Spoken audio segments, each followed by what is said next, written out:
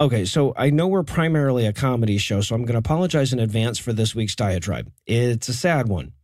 So if you normally listen to this show on the way to work to get a few laughs in through the commute, maybe you just skip ahead to the headlines and you listen to this bit some other time because I'm going to be talking about death this week and not in the abstract.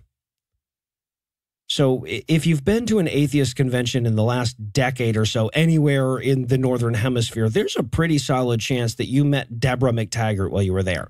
And if you met her, it's highly unlikely you wouldn't remember it. She was crazy short. Her hair was about two shades off of a fire hydrant, and she was gregarious for a Canadian.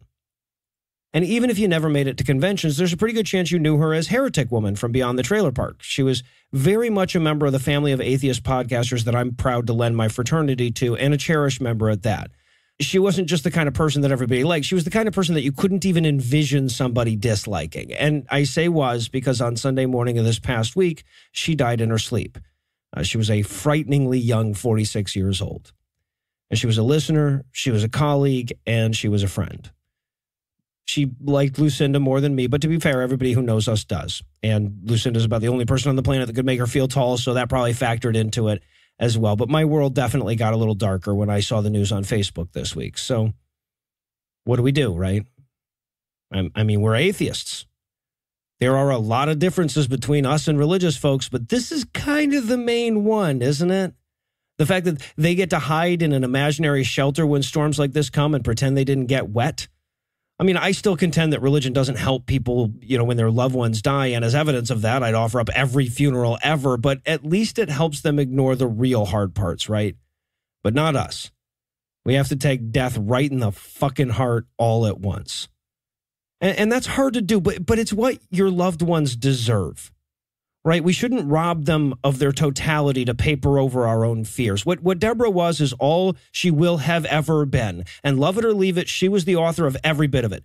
Right? She she was the things she did and the words she said and the people she touched. And we don't get to co-opt that and write a fourth act fanfic where we get to see her again someday at the great big reason con in the sky. She gets sole ownership of her life, and our fantasies, no matter how comforting, shouldn't dilute that. But but that's when atheism is at its best too, right? When it forces you to learn the lessons that death teaches. We can't cop out behind euphemisms because th- they all try to spackle over the finality of it. Right? We can't say she's resting in peace because she's not resting. We can't say she's in a better place because she's in the ground. And we can't say she's looking down on us because she's dead. So what can we say?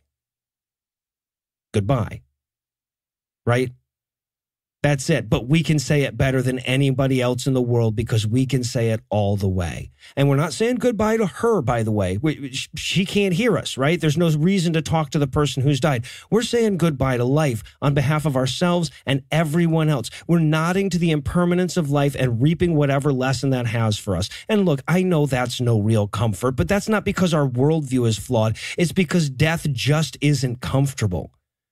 Nothing we pluck from an antiquated book is going to change that, or a, an unantiquated book for that matter. Death is terrifying, and one death makes you think about all of them your own, your spouses, your friends. And when reality asks you to do something like confront the idea of life carrying on without you, or, or carrying on your own life without somebody that you need there, it's tempting to hide from that.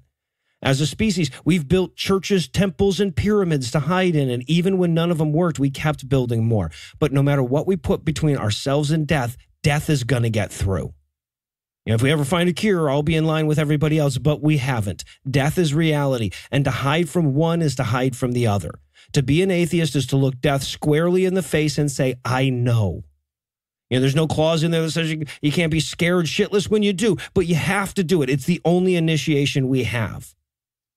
So why do it? Why not just lie to ourselves and make it easy? There are whole institutions that would be happy to indulge us in this pleasant fantasy for a reasonable price.